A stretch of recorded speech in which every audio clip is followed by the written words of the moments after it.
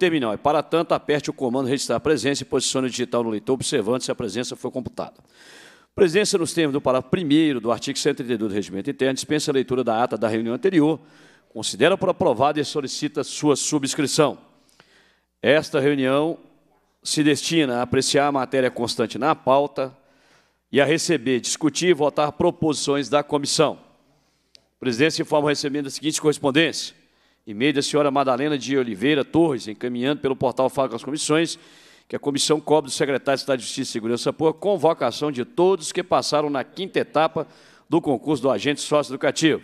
Ofício da Secretaria de Estado de Justiça e Segurança Pública, encaminhando o relatório estatístico previsto no artigo 4A da Lei 13722-2000, que versa sobre o número de registros de eventos de defesa social. Ofício da Secretaria de Estado de Planejamento e Gestão, prestando informações relativas ao requerimento 421 de 2023, de autoria do deputado, informando que, com a entrada em vigor da Lei 24313, que institui a reforma administrativa do Estado, o Departamento de Trânsito, antes subordinado à Polícia Civil, passou à estrutura da Coordenadoria Estadual de Trânsito, que integra a CEPLAG. Esclareceu que, no prazo de 180 dias, a partir da entrada em vigor da lei, a gestão dos serviços de trânsito será totalmente coordenada pela CEPLAG, sendo que no período de seis meses estará em andamento a migração de todos os serviços do, do migração do serviço de competência CEPLAG.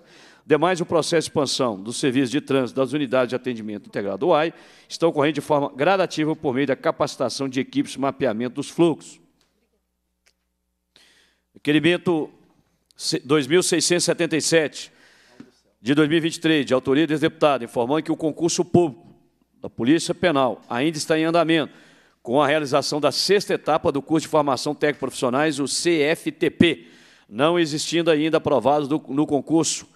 A sexta e última etapa do concurso público em tela é o CFS, CFTP, nos termos da Lei 14.695 de 2003, que criou a carreira de agente de segurança penitenciária. Nesse sentido, salientou que foi autorizada a convocação do total de 3.855 candidatos para a sexta etapa do concurso, conforme ato retificador 08, publicado em 22 de 7 de 2023. Assim serão convocados para o terceiro grupamento do CFTP 1.358 candidatos aprovados na quinta etapa do concurso. 2.780 de 2023 de autoria do deputado professor Cleito, informando que foi aprovada pelo Comitê de Orçamento e Finanças, COFIN, a convocação de 3.505 candidatos, portanto, 1.085, além dos, dos 2.420 previstos em edital para a realização da sexta fase do concurso de formação de técnico profissional na carreira de agente de segurança penitenciária. Ofício do Secretaria de Estado de Fazenda, prestando informações relativas ao requerimento 1066 de autoria do deputado, encaminhando um memorando e uma nota jurídica, elaborados respectivamente pela equipe técnica da Subsecretaria do Tesouro Nacional e pela assessoria jurídica da SEF. O memorando concluiu que o pedido de informações sobre a viabilidade de uma terceira turma do curso de formação técnico profissional antes da homologação do concurso ser justo não guarda relação com as atribuições da STE. A nota jurídica contém ressalva quanto ao escopo de análise, prisma estritamente jurídico. Ofício da Polícia Militar, prestando informações relativas ao requerimento 1479 de autoria do deputado, informando que após publicação da emenda constitucional 111, de 29 de 6 de 2022, que tem impacto em todos os órgãos da administração pública, realizou-se consulta à CEPLAG para análise e orientação sobre os direitos dos servidores do aproveitamento adicional de desempenho, visando seu cumprimento pelas instituições militares. A Advocacia Geral do Estado, em resposta à CEPLAG, emitiu parecer ressaltando que o dispositivo carece de elementos essenciais à sua aplicação, tornando-se indispensável a regulamentação por meio de uma lei, uma vez que tal dispositivo não esclarece aspectos cruciais para sua implementação. Ademais, o referido parecer jurídico aponta que a falta de regulamentação torna inviável o cumprimento imediato e voluntário da norma pela administração, uma vez que é inevitável aguardar a publicação de uma lei regulamentadora. Destacou que a Lei 24.303 do 28 do 4 de 2023, em seu artigo 142, dispõe que o Poder Executivo encaminhará à Assembleia, em até um ano, contado a data de publicação dessa lei, um projeto de lei complementar para regulamentar a emenda. Sugestão de encaminhamento, cobrar. O que é isso?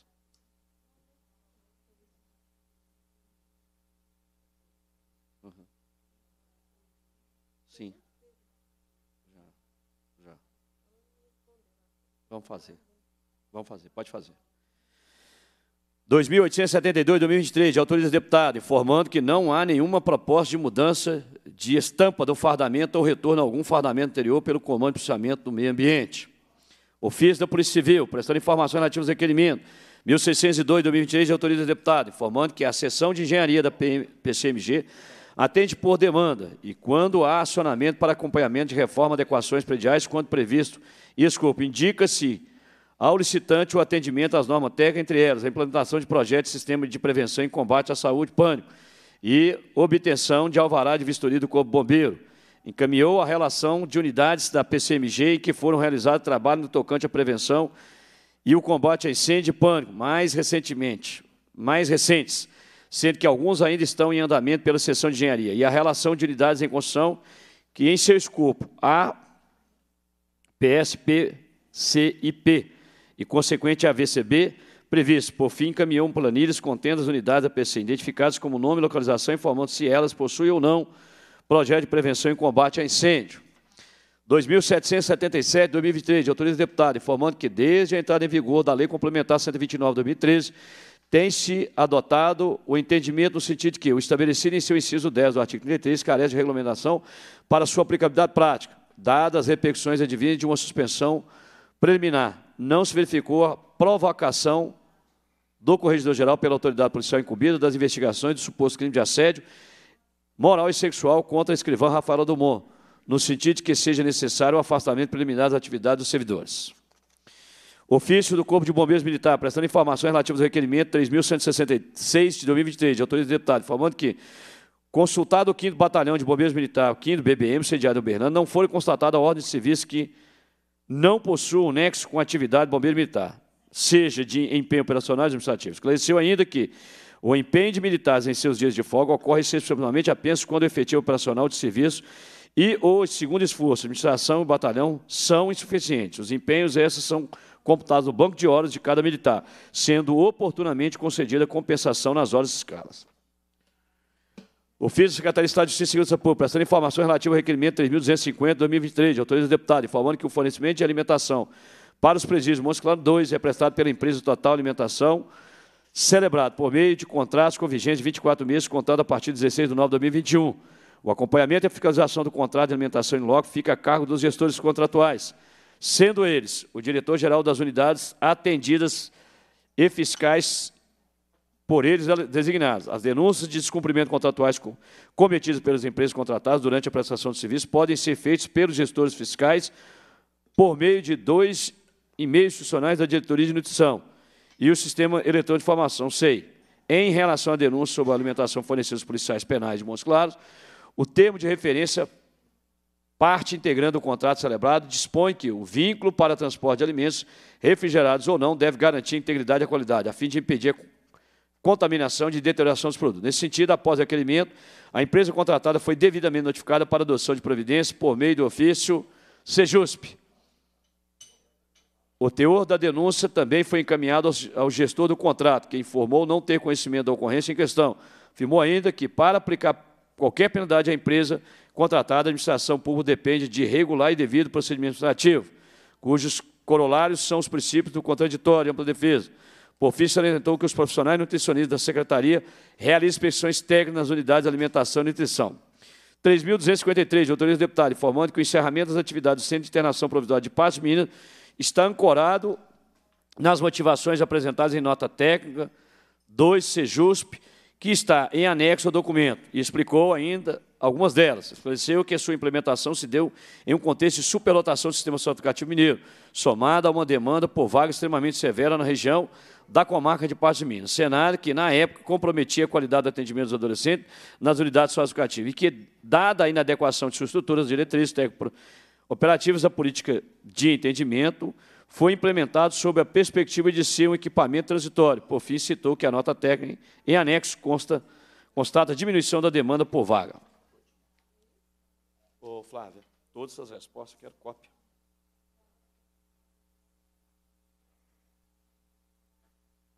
Passa-se a segunda fase do dia que compreende a discussão e a votação de pareceres sobre proposições sujeitas à apreciação do plenário. Projeto de Lei 2487-2021, segundo turno, de autoria do, deste deputado, que altera a Lei 23.418 de 18 de nove de 2019, que dispõe sobre o aproveitamento dos armamentos, peças, componentes e munições apreendidos pela Polícia Civil e pela Polícia Militar do Estado. Tendo em vista que a proposição é de minha autoria, passo a presidência dos trabalhos ao ilustre colega deputado, vice-presidente dessa comissão, deputado Cristiano Xavier. Assuma a presidência, indago o relator, deputado Eduardo Azevedo, se há condições de emitir o seu parecer. Sim, presidente. Em discussão com a palavra, deputado.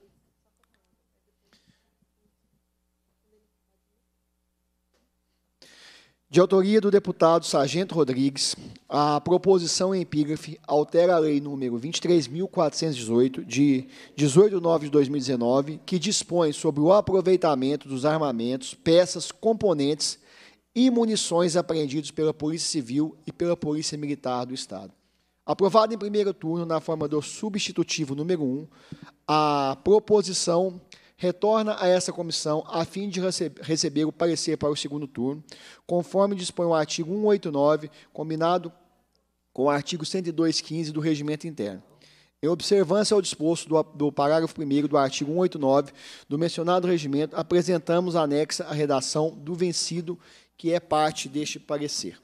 Fundamentação. O projeto de lei número 2487/2021 pretende alterar a lei número 23418 de 2019, que dispõe sobre o aproveitamento dos armamentos, peças, componentes e munições apreendidos pela Polícia Civil e Polícia Militar do Estado. Ao aperfeiçoar a legislação já existente, a proposição, na forma do vencido, busca ampliar o aspecto institucional da hipótese de incidência da, cidade, da citada lei, de modo a complementar como destinatários do material apreendido em operações policiais todos os órgãos de segurança pública do Estado, não somente Polícia Civil e Militar.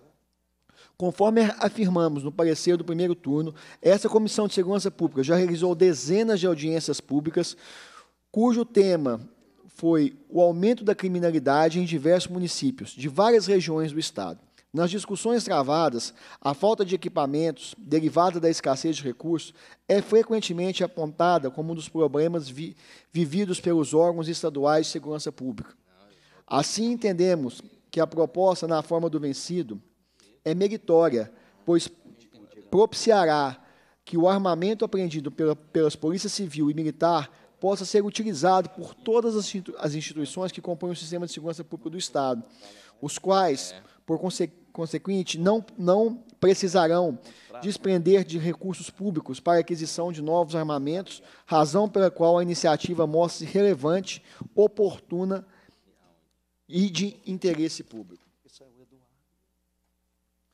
Em face, conclusão, em face do exposto, opinamos pela aprovação do projeto de lei 2487 no segundo turno, na forma do, na forma do vencido em primeiro turno. Sala das comissões. Em discussão, parecer. Encerra-se a discussão. Em votação, parecer. Os deputados e deputadas que o aprovam permaneçam como se encontram.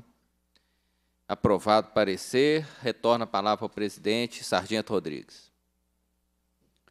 Obrigado, deputado Cristiano Caporeso. Obrigado, deputado eh, Eduardo Azevedo. Nós estamos apenas ampliando a, a autorização legislativa para também que os equipamentos também possam ser destinados à própria Polícia Penal, deputado Eduardo Azevedo. Não quero que registrar e agradecer o parecer é, coerente Vossa Excelência, que foi dado em primeiro turno, porque nós temos três forças policiais no Estado, né, e hoje a Polícia Penal já tem cerca de 17 mil integrantes, é inclusive a segunda força policial maior do Estado, maior que a própria Polícia Civil, e eles também é, necessitam também de, de ter o seu armamento, porque não só fazem a, a segurança interna dos estabelecimentos é, prisionais, segurança externa e escolta portanto, necessários que tenham os devidos equipamentos. E muitas vezes há apreensões aí enormes da Polícia Militar e da Polícia Civil que também podem ser é, atendidas. Projeto de Lei 924-2023, em primeiro turno, de autoria do deputado Cristiano Caporeso, que acrescenta dispositivos à Lei 14.310 de 2019, 2002, que dispõe sobre o Código de Ética e Disciplina dos Militares do Estado de Minas Gerais. Na qualidade de relator da matéria, antes de emitir o meu parecer, vou suspender os trabalhos apenas para é, esclarecer aqui pontos ao autor da matéria e os demais membros da comissão. Estão suspensos os trabalhos por dois minutos. E ter o lúcio colega deputado Cristiano Caporeso é, como colega deputado estadual.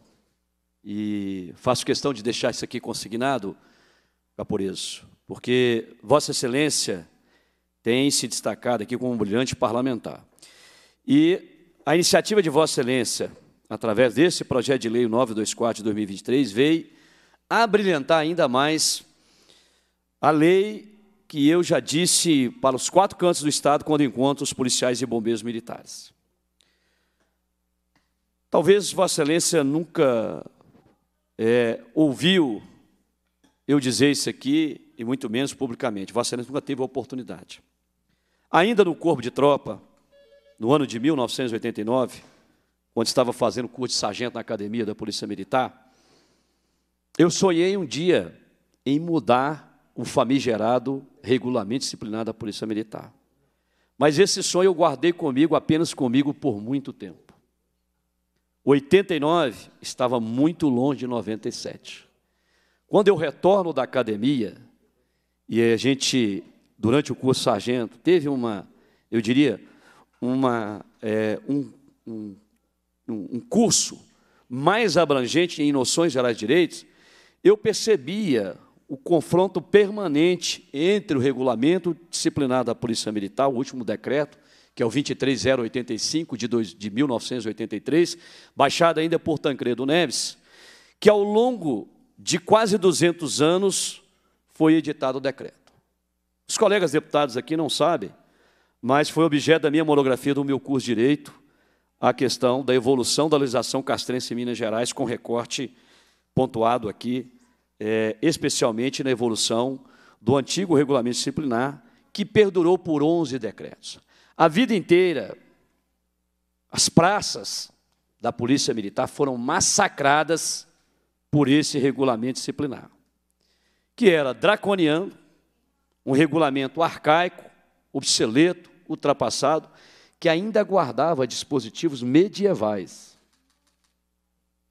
Portanto, deputado Eduardo Azevedo, talvez Vossa Excelência é, não vá conseguir alcançar a dimensão das minhas palavras, mas ele, enquanto integrante da instituição, sim. O primeiro regulamento disciplinar da Polícia Militar continha 25 artigos tinha pena de prisão administrativa de dois a seis anos. Pena de prisão administrativa de dois a seis anos. Cem anos depois, em 1927, o primeiro regulamento é datado de 1831.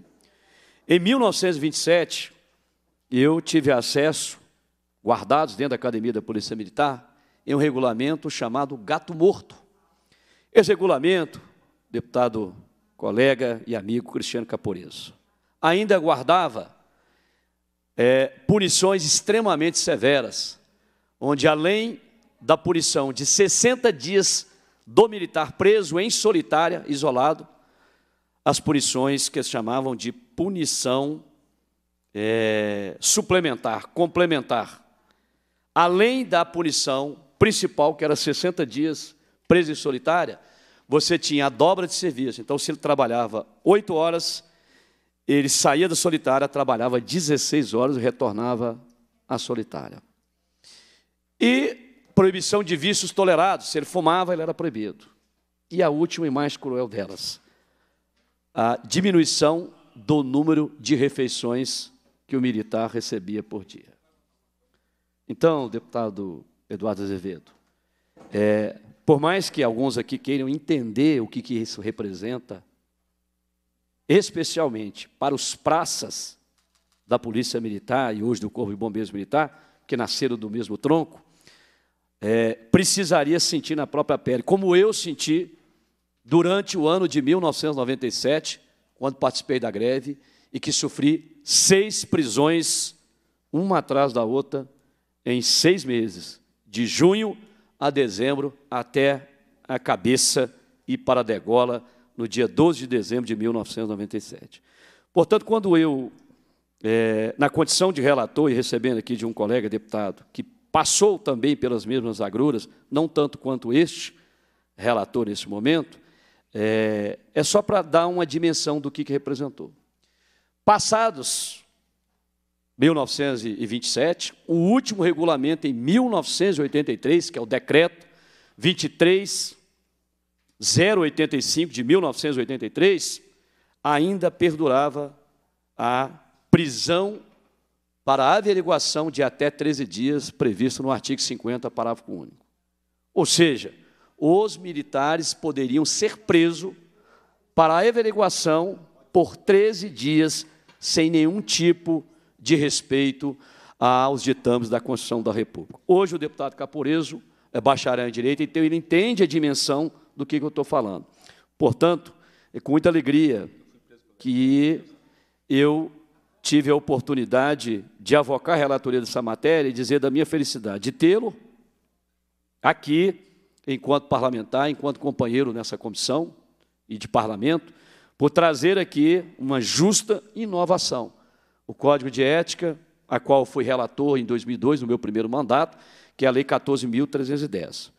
Passo agora a fazer a leitura da contribuição brilhante do ilustre colega deputado Cristiano Caporeso, e que eu tive a grata satisfação de, mais uma vez, ser relator dessa matéria.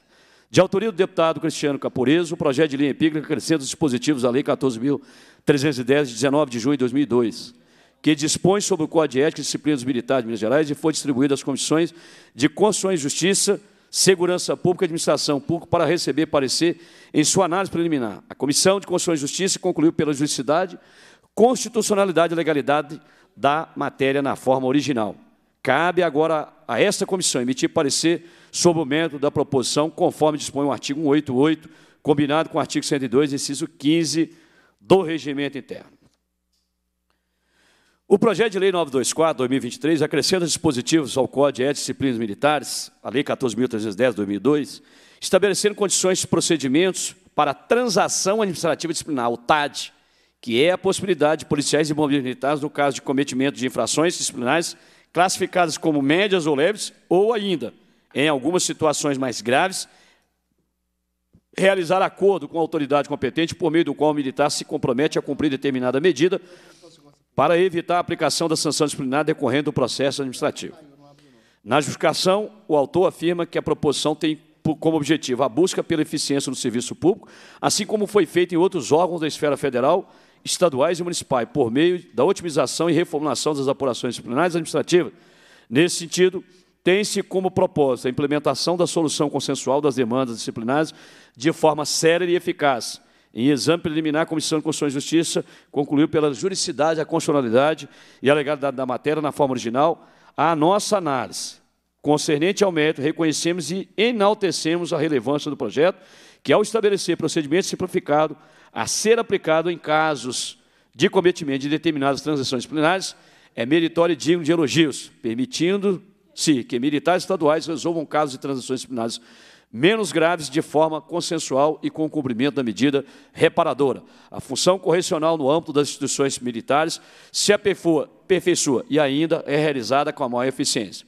Ademais, a proposta permitirá que as instituições militares concluam mais rapidamente as, investigações e transgressões disciplinares mais graves, considerando que muitos dos procedimentos relacionados às transgressões menos graves serão concluídos com a realização da transação administrativa disciplinar, o TAD, o que, em nosso entendimento, representa um avanço significativo na gestão das transgressões disciplinares do âmbito militar, otimizando o tempo e os recursos envolvidos nesses processos, assim, com base nos argumentos de mérito Acima exposto, considerando que o projeto deve prosperar nesta casa, no entanto, para aperfeiçoá-lo tecnicamente e ainda reduzir o âmbito de transações disciplinares que poderão ser objeto da transação administrativa disciplinar, apresentamos ao final deste parecer o substitutivo número 1. Conclusão. Pelo exposto, opinamos pela aprovação do projeto de lei 924-2023, em primeiro turno, na forma do substitutivo número 1 a seguir, apresentado. Substitutivo número 1, altera a Lei 14.310, de 19 de junho de 2002, que dispõe sobre o Código de Ética e Disciplina dos Militares de Minas Gerais. A Assembleia Legislativa de Minas Gerais decreta, artigo 1 fica acrescentados aos artigos 11 da Lei 14.310, de 19 de junho de 2002, os seguintes parágrafos 1 2 e 3 Parágrafo 1 Somente a lei poderá condicionar o exercício de direito, impor dever, prescrever sanção ou prescrever sanção. Parágrafo 2 É vedada a aplicação de penalidade disciplinar sem lei anterior que a defina, sendo assegurados ao, ao acusado o contraditório e a ampla defesa no processo administrativo disciplinar. Parágrafo 3 A lei posterior que favoreça o acusado aplica seus procedimentos administrativos em trâmite quando da sua aplicação. Artigo 2 Fica acrescentado ao título 5 da Lei 14.310, de 2002, o seguinte capítulo 4, constituído, construído pelos artigos 62A e 60, A62F. Capítulo 4, transação administrativa disciplinar, artigo 62A. A transação administrativa disciplinar, TAD, é o acordo firmado entre o militar transgressor e a autoridade competente para lhe aplicar sanções disciplinares prevista nesse Código, por meio do qual o transgressor se compromete a cumprir determinada medida para evitar a aplicação da sanção disciplinar decorrente do processo administrativo. Parágrafo 1 só é admitida a TAD nos casos de transações disciplinares classificadas como médias ou leves, conforme disposto o artigo 14 e 15 desse Código, salvo o previsto no artigo 62-E. Parágrafo 2 é vedada a TAD quando ocorrer concurso de transações disciplinares. Parágrafo 3 a TAD será formalizada por meio de assinatura do termo de ajustamento disciplinar. TADs produzido pela administração disciplinar. Quarto, o TADES deverá ser firmado antes da publicação da portaria ou despacho de instauração do processo administrativo disciplinar em boletim da instituição militar estadual. Parágrafo 5 O TADES dispensa a instauração de processo disciplinar e exclui eventualmente a implicação de sanções disciplinares e seus efeitos, caso sejam cumpridas as obrigações nele pactuadas. Parágrafo 6 a TADES será, só será concretizada após o cumprimento total do acordo no TADES. Parágrafo 7 a aceitação da proposta de TADES não implica confissão pelo beneficiado da proposta, não resultando esta aceitação em qualquer prejuízo para a carreira do militar. Artigo 62b. Na transação administrativa disciplinar firmada por meio do termo de ajustamento de conduta disciplinar, será, deverá ser aplicada uma das seguintes medidas. 1. Um, ressarcimento do dano causado ao erário quando houver. Quando houver. 2 prestação de escala de serviço de natureza preferencialmente operacional, correspondente a um turno de serviço, com duração de oito horas fora de sua jornada habitual, sem remuneração extra, sendo, a linha A, três turnos de serviço para transgressão disciplinar, disciplinar de natureza grave, restrito aos incisos do artigo 13, listado no artigo 62. É. B. Dois turnos de serviço para transgressão disciplinar de natureza média. C um turno de serviço para transação disciplinar de natureza leve. Parágrafo primeiro, as escalas previstas no inciso 2 deverão ser cumpridas no período máximo de 45 dias a contar da data de formalização do TADES a critério da administração militar. Parágrafo segundo, as horas referentes ao cumprimento das escalas descritas no inciso 2 não integrarão a contabilização de horas trabalhadas para fim de cómputo da carga horária.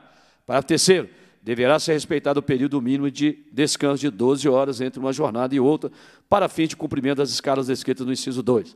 Artigo 62c. O TAS deverá conter, no mínimo, as seguintes informações. Inciso 1. Qualificação do militar transgressor, local, data e assinatura das partes. 2. Especificação da transação disciplinar imputada ao militar. 3. O prazo e os termos acordados para cumprimento das obrigações assumidas. 4. A comprovação do ressarcimento do dano causado ao erário, se for o caso. 5. A forma de fiscalização pela instituição militar estadual competente. Artigo 62D. A autoridade competente para aplicar a sanção deverá, obrigatoriamente, nos casos de transição disciplinar de natureza média ou leve, propor ao militar a transação, a transação administrativa disciplinar, desde que o transgressor preencha os requisitos, seguintes requisitos. 1. Um, está classificado, no mínimo, o conceito disciplinar B, sem pontuação negativa. 2 não ter sido beneficiado por transação administrativa disciplinar nos últimos 12 meses anteriores à prática de nova transação disciplinar.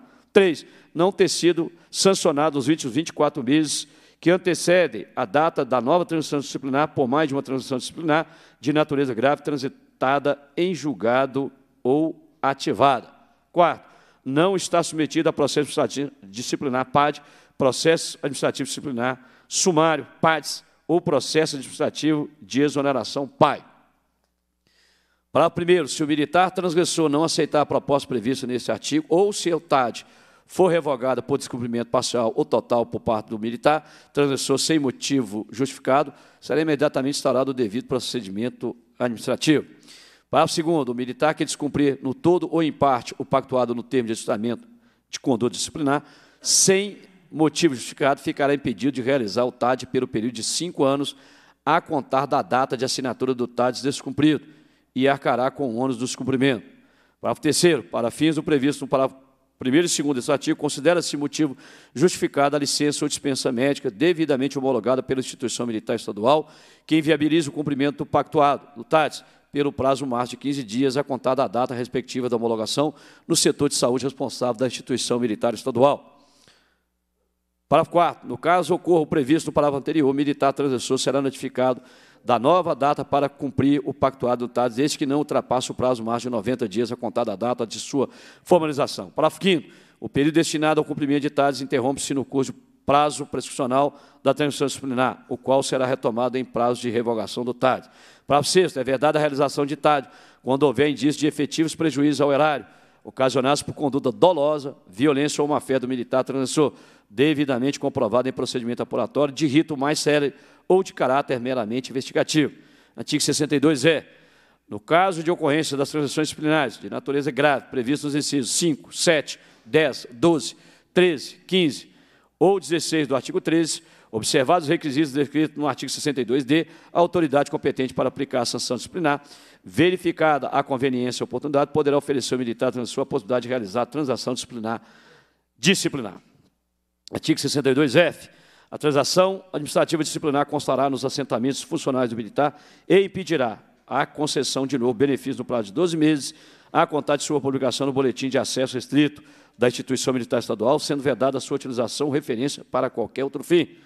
Parágrafo único. Após decorrido o prazo que se refere ao CAPT, o registro TAD será apagado dos assentamentos do militar, sendo proibida qualquer utilização ou referência à transação realizada. Artigo 3 Essa lei entra em vigor na data de sua publicação. Sala das Comissões, dia 27 de fevereiro de 2024.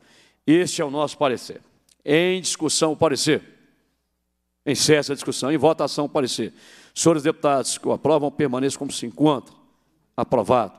Registro aqui os meus parabéns ao ilustre colega deputado Cristiano Caporeso pela brilhante iniciativa a qual tivemos mais uma vez a oportunidade de ser relator nesta casa de uma lei que é chamada pelos praças da Polícia Militar e de Corpo Bombeiros Militar a Lei Áurea das Praças, a Lei 14.310. Parabéns a Vossa Excelência pela iniciativa, porque Vossa Excelência nos abrilhantou com a sua sugestão, com a sua eh, ideia de trazer aqui o Instituto da Transação Administrativa Disciplinar, que permitirá, inclusive, celeridade nos processos que a gente pode classificar aqui de menor potencial é, disciplinar no âmbito das instituições militares estaduais. Parabéns, que Vossa Excelência continue com muita saúde brilhando aqui no Parlamento. Muito obrigado, presidente Sargento Rodrigues, pela relatoria do projeto. Falo aqui com toda sinceridade que o admirava antes de chegar nessa casa e o admiro mais agora ao ver o teu trabalho. Já fui teu eleitor em 2014, não é verdade?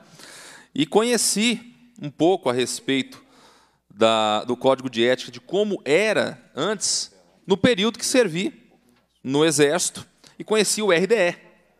Então eu fui preso, eu fui preso pelo RDE injustamente quando lá trabalhava no Exército em Brasília. É uma história que outra hora eu vou compartilhar com Vossa Excelência. Mas fico feliz por poder colaborar com esse projeto, a transação administrativa, vai impedir que muitos policiais militares que hoje já não têm mais o quinquênio e recebem o adicional de desempenho sejam punidos em seu salário por causa de algum tipo de avaliação negativa que venha prejudicar o ADE, que é o adicional de desempenho. Então isso é muito importante para fazer justiça aos militares e resguardar os seus direitos. Então, mais uma vez, parabéns pelo seu trabalho. É uma satisfação poder cerrar fileiras contigo aqui. Registre-se as palavras do nosso colega deputado Cristiano Caporeso. Passa-se a segunda fase da ordem do dia e compreende a discussão e a votação de proposições que dispensam apreciação do plenário. Requerimento 5.546, 2024, de autoria do deputado Eduardo Azevedo. Requerimento 5.602, 2024, de autoria da Comissão de Direitos Humanos. Requerimento 5.700, 2024, de autoria do deputado Raul Belém Requerimento 5.718 de 2024, em turno 1, de autoria do deputado delegado Cristiano Xavier. Em votação, os requerimentos, cada um por sua vez. Os senhores deputados que o aprovam permaneçam como se encontram. Aprovados os requerimentos. Passa-se a terceira fase do ordem do dia, compreende o recebimento, a discussão e a votação de proposições da comissão.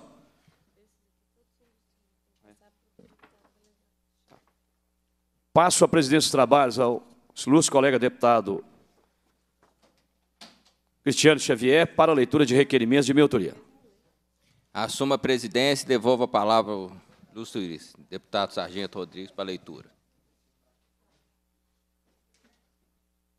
O primeiro requerimento seja encaminhado ao presidente do Tribunal de Justiça de Minas Gerais, pedir providência para determinar os magistrados que atuam nas varas de execução penal do Estado, que na análise dos pedidos de concessão dos benefícios da saída temporária, de concessão de progressão para o regime semiaberto e o de deferimento de prisão domiciliar, seja imposta a utilização de tornozeleiros eletrônicos condenados, considerando que mais de 50% dos equipamentos encontram-se ociosos e, portanto, disponíveis para serem utilizados. Este requerimento decorre da audiência pública da Comissão de Segurança Pública da Assembleia Legislativa durante a quinta reunião extraordinária, em 26 de 2 de 2024, que debateu as circunstâncias do assassinato do sargento Roger Dias da Cunha, atingido por dois tiros na cabeça no dia 5 de janeiro de 2024, em Belo Horizonte. O requerimento também de autoria desse deputado, deputado Bruno Engler, Chiara Biondini e Caporeso, seja encaminhado ao presidente da Câmara dos Deputados, Arthur Lira, e aos líderes da Câmara dos Deputados, pedir providência para dar celeridade à tramitação do projeto de lei em trâmite na citada Casa Legislativa, que visa extinguir o benefício de saída temporária das leis de execução penais, a Lei Federal 7.210 de 1984. Este requerimento decorre da audiência pública da Comissão de Segurança Pública da Assembleia Legislativa de Minas Gerais, durante a quinta reunião extraordinária, em 26 de 2 de 2024, que debateu as circunstâncias do assassinato do sargento PM Roger Dias da Cunha.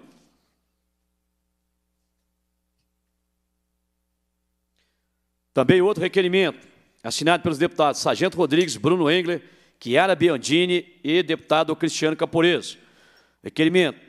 Seja encaminhado ao Conselho Nacional de Justiça, CNJ, pedir providência para apurar a decisão da magistrada da Vara de Execuções Penais em Ribeirão das Neves, Bárbara Isadora Santos Sebe Nardi, que colocou em liberdade no bojo dos autos do processo 4401694-9219.8.13.0024, o preso Elbert de Souza Fagundes, que assassinou em 5 de janeiro de 2024 o sargento PM Roger Dias da Cunha. Ressalte-se que, a despeito da manifestação contrária do representante do Ministério Público Estadual, que atua junto à citada vara de execuções penais, a citada magistrada deferiu o benefício de saída temporária e colocou em liberdade o assassino. Ressalte-se que, conforme parecer do Ministério Público, o assassino do policial militar foi colocado em liberdade pelo benefício do livramento condicional em 6 de 3 de 2023 e nas datas de 3 de abril de 2023, 28 de abril de 2023 e 18 de 7 de 2023, veio a cometer novos crimes, o que gerou a revogação da liberdade constitucional outrora concedida. Ao final de 2023, mesmo com esse terrível histórico criminal, a citada magistrada colocou novamente em liberdade o preso, mesmo com opinião contrária do Ministério Público, e em poucos dias de liberdade, em data posterior a que ele deveria ter voltado à unidade prisional, veio assassinar cruelmente o citado policial militar este requerimento decorre da audiência pública da Comissão de Segurança Pública da Assembleia Legislativa do Estado de Minas Gerais, durante reunião, quinta reunião extraordinária da comissão, realizada em 26 de 2 de 2024, que debateu as circunstâncias do assassinato do sargento Roger Dias da Cunha.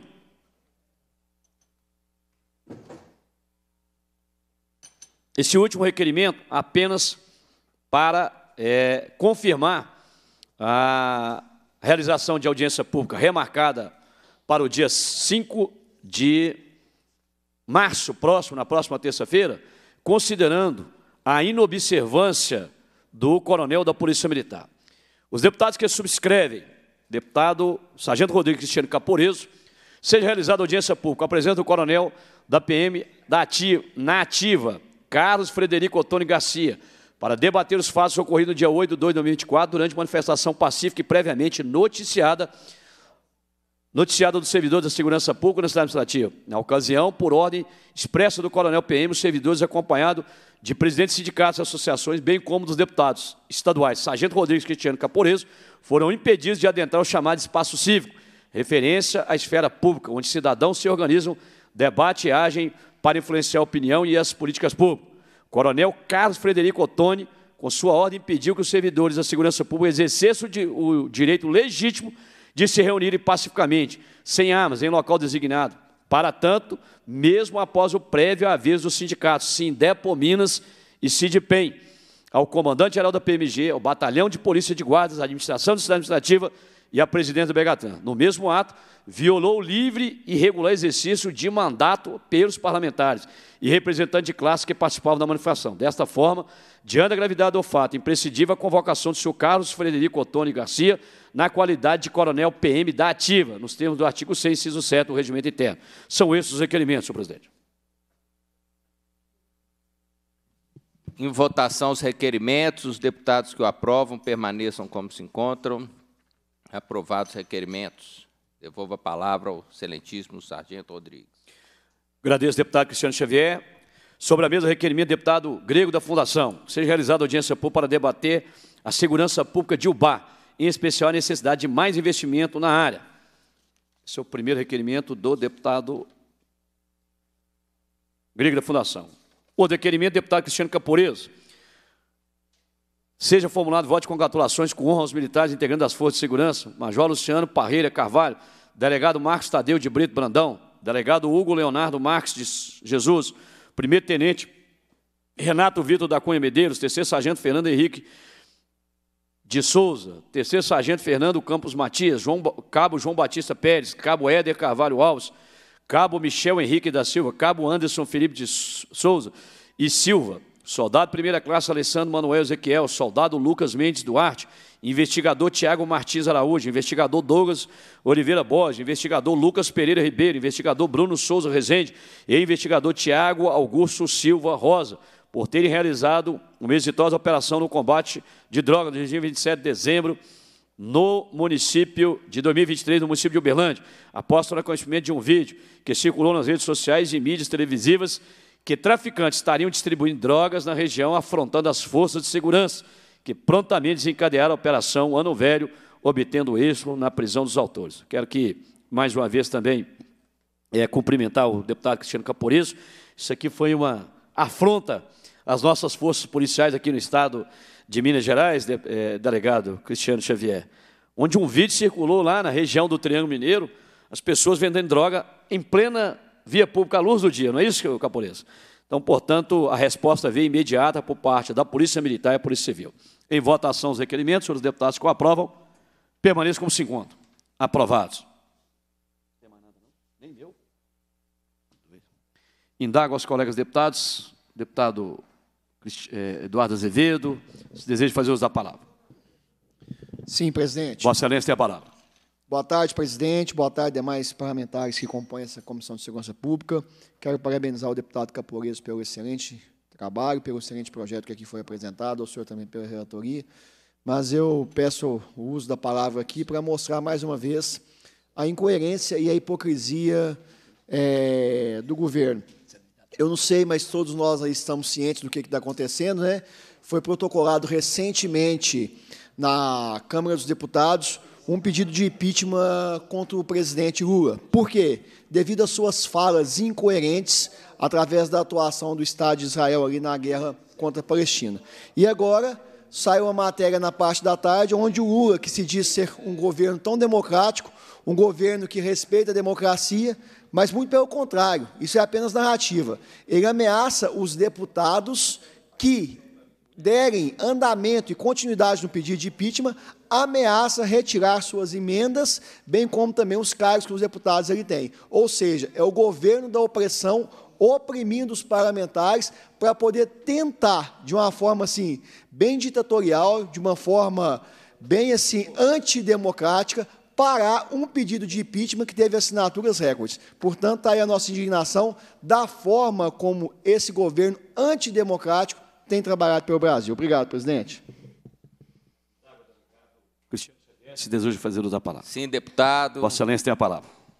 Gostaria de parabenizar Vossas Excelências pela audiência, nosso excelentíssimo Sargento Rodrigo pela condução dos trabalhos. E quando a gente cobra, e cobra muito né, na segurança pública, principalmente em razão do sucateamento da Polícia Judiciária, da falta de efetivo e tudo, e a gente tem cobrado, através de pedidos de providência nessa Comissão de Segurança Pública, vários feitos. E um deles foi aquele incêndio em quatro viaturas policiais da Polícia Penal na cidade de Itaúna, ali por volta ali do dia 15 de dezembro. E semana passada eu recebi um relatório muito aprofundado do delegado Leonardo Pio, que é um delegado muito atuante, muito bom da cidade de Itaúna. Eu queria fazer leitura dele aqui, porque foi assim realmente um trabalho de ponta, célere, rápido e efetivo, né, que culminou aí com prisão de indivíduos, dos suspeitos de atearem fogo naquelas viaturas e também de outras pessoas aí que estão como partícipes, como, como coautores também. E foi rápida a resposta, já foi no, no dia. É, no início de janeiro, né, o incêndio no dia 15, apuração já com pedido de prisão, operação policial deflagrada e prisão preventiva de um dos autores. Né, no relatório final, ele menciona o indiciamento de que em apenas sete dias ele apurou e identificou todos os autores do crime de um incêndio, dano ao patrimônio público ocorrido no dia 15 de dezembro de 2023, oportunidade em que quatro viaturas oficiais da Polícia Penal estavam estacionadas de frente a um estabelecimento prisional em Itaúna e foram incendiados. Isso aí repercutiu em todos os canais de televisão, em toda a mídia, em toda a rede social, realmente uma afronta à segurança pública, ao governo do Estado de Minas Gerais. E apurou-se que houve a participação de dez autores, dez autores, entre mandantes do crime, executores e partícipes, sendo quatro deles menores de idade. A investigação culminou na prisão preventiva de um dos autores, executores, e na expedição de um mandado de internação cautelar para um outro menor infrator, que se encontra foragido. O inquérito foi concluído com o indiciamento dos envolvidos pelos crimes previstos no artigo 163, inciso 3, dano qualificado ao patrimônio público, bem como representada a prisão preventiva das demais autoridades e internação cautelar dos outros adolescentes infratores. Então, queria aqui deixar registrado nossos, parabéns, nossos votos de congratulações aprovados aqui hoje para o delegado Leonardo Pio, para toda a equipe da Polícia Civil de Itaúna, que realizou essa ação com maestria, com força, uma resposta rápida e efetiva à criminalidade naquela cidade e que operações como essa sejam deflagradas em todo o estado de Minas Gerais, para que prevaleça a tão sonhada paz para os nossos mineiros e moradores daqui. Muito obrigado, excelentíssimo é, presidente Sargento Rodrigues. Eu cumprimento Vossa Excelência pela brilhante iniciativa e, obviamente, aos policiais civis que deram uma resposta à altura, é, porque ali, quando queima viaturas da Polícia Penal, é o Estado sendo afrontado. E esse Estado é o mesmo Estado que reagiu pronto e imediatamente, fazendo com que ah, os autores fossem, fossem presos. E agora, certamente, é, uma vez condenados, porque não restará outra alternativa para até o próprio Ministério Público Judiciário, senão a oferta de denúncia e condenação, até para servir de exemplo. Quem sabe agora eles vão poder adentrar o presídio e cumprir a pena lá no mesmo lugar onde eles cometeram os crimes botando fogo nas viaturas. Então será assim uma coisa muito boa. A gente poderia estar acompanhando a, a denúncia do MP e a condenação para que eles, a gente acompanhasse a, eles chegando lá, inclusive no presídio. Eu vou passar a presidência a Vossa Excelência, que chegou aqui mais um requerimento de minha autoria, coisa muito rápida. Então, passa a presidência dos trabalhos ao deputado Cristiano Xavier para que eu possa fazer a leitura de requerimento. Recebo é, a presidência e devolvo para a leitura ao deputado Sargento Rodrigues é que seja encaminhado ao governador do Estado de Minas Gerais pedir providência para enviar com urgência a esta Casa projeto de lei complementar para regulamentar a emenda constitucional número 111 de 2022, tendo em vista que o prazo previsto no artigo 142 da Lei 24.303 de 2023 vence de dia 28 de abril de 2024. É apenas um requerimento, a emenda constitucional 111 é aquela que disciplinou a matéria no âmbito da Constituição do Estado sobre a polícia penal em Minas Gerais. É só este requerimento, senhor presidente. Em votação o requerimento, os deputados que o aprovam permaneçam como se encontram. Aprovados os requerimentos, devolvo a palavra ao deputado Sargento Rodrigues. Obrigado.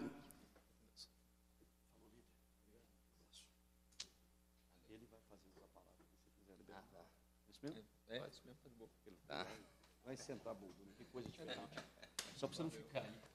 A presidência agradece aos colegas parlamentares, a gente conseguiu cumprir aqui ah, o previsto na pauta de hoje, a votação de dois projetos importantes, um de minha autoria, outro de autoria do deputado Cristiano Caporeso. É, e agora ainda fico com a missão ainda, professor Matheus, agora ainda fico com a missão ainda de vigiar o projeto do deputado Caporeso lá na Comissão de Administração Pública. Até porque é, é uma matéria muito específica, né?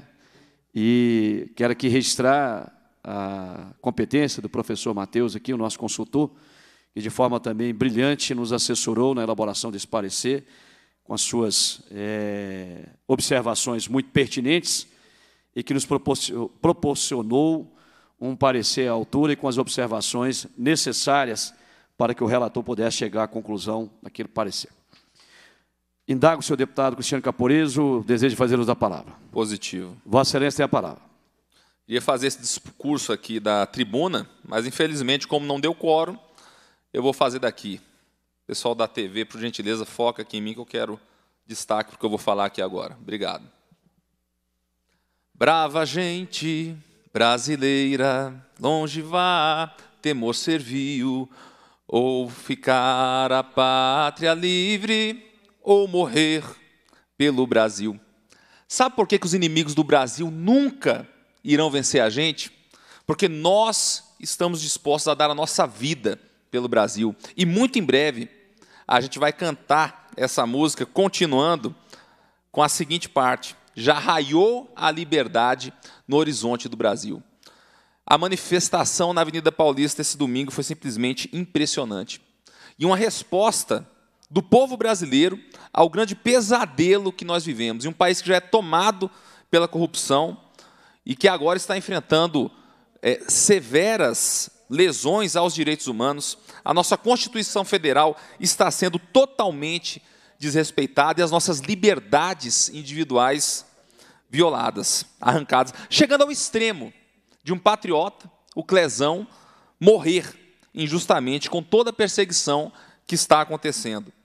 Então, ver essa manifestação que foi recorde na Avenida Paulista é algo que nos enche de energia diante de tantos pedidos que nós ouvimos, né? Cobranças da população pedindo para deputados estaduais, federais, senadores e outras autoridades tomarem alguma postura. Meu Deus, como eu gostaria que dependesse só de mim para resolver tanta injustiça que está acontecendo em nosso país. Porém, esse recado da Paulista, que reverberou pelo mundo inteiro, e não apenas aqui no Brasil, deixa bastante claro que o Brasil não é do Lule, o Brasil não é dos iluministros.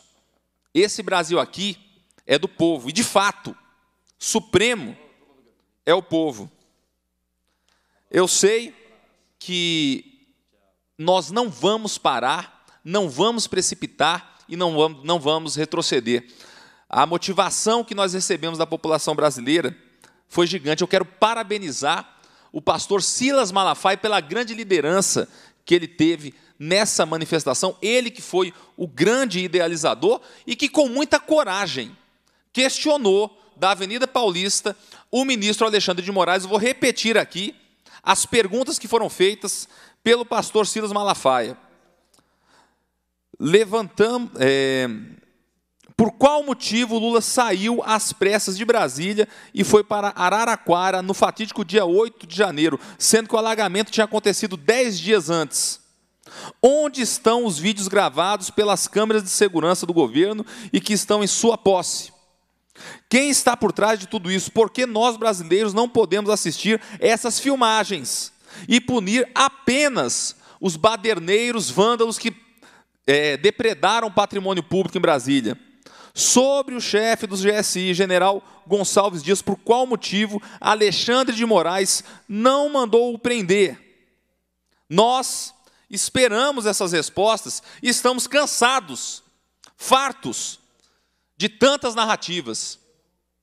Tantas narrativas construídas para prejudicar mais da metade da população brasileira que comunga dos mesmos valores, da defesa de Deus, pátria, família e liberdade.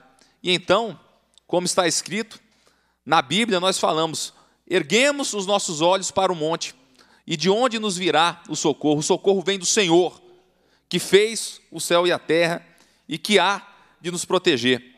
Agora, ainda reforçando essa grande manifestação, conforme números levantados da Polícia Militar, no mínimo 750 mil pessoas estiveram na Paulista, algo histórico, e que me fez lembrar uma frase que foi dita por um iluministro: Nós derrotamos o bolsonarismo. Cara, olha essas imagens. Se isso aqui é a derrota, espera só até ver a nossa vitória. A direita vive em Minas Gerais. Obrigado. Agradeço ao colega deputado é, Cristiano Capureso e peço agora que a TV foque aqui nesse parlamentar para que a gente possa também fazer uso da palavra e, e em seguida encerrar os trabalhos da comissão. Eu queria, de igual modo, parabenizar aqui o pastor Silas Malafaia pela sua coragem, pela sua iniciativa, mas acima de tudo, por não se calar diante de tantos abusos e tantos arbítrios praticado pelo Supremo Tribunal Federal. O próprio colega deputado já citou aqui falas de ministros do STF, onde o atual presidente do STF disse claramente, textualmente, no encontro de uma faculdade, em uma palestra, que eles, né, nós derrotamos o bolsonarismo. É, caberia ali o impeachment para o ministro é, Luiz Roberto Barroso com certeza caberia o impeachment, porque ele jamais poderia se posicionar do ponto de vista político e ideológico. Nós tivemos um outro ministro que, numa única canetada, disse que as condenações do Lula não valia, que não estava correta, que colocou o cara na rua simplesmente para poder disputar a eleição presidencial. E nós temos é, o próprio pastor Silas Malafaia veio fazendo um retrospecto de vários anos para cá, de 2018 até a presente data, foi de uma felicidade enorme, porque apontou datas, apontou fatos e apontou que a direita no Brasil vem sendo perseguida dia e noite, implacavelmente. E o pior, aparelhamento da Polícia Federal, que infelizmente tem sido aparelhada pelo governo que hoje está sentado naquela cadeira de presidente da República, aparelhamento da esquerda. É algo assim vergonhoso ver a atuação da Polícia Federal é, também é, passando por cima de direitos e garantias fundamentais, passando por cima do devido processo legal, da ampla defesa e do contraditório, ou seja, rasgando a Constituição à luz do dia.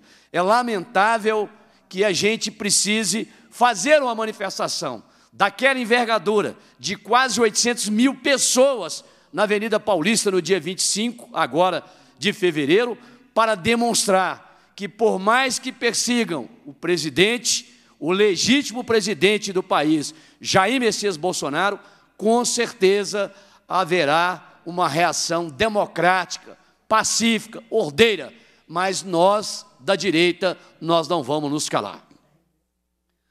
Cumprida a finalidade da reunião, a presidência agradece a presença dos parlamentares, convoca os membros para a próxima reunião ordinária, determina a lavatura da ata e encerra os trabalhos.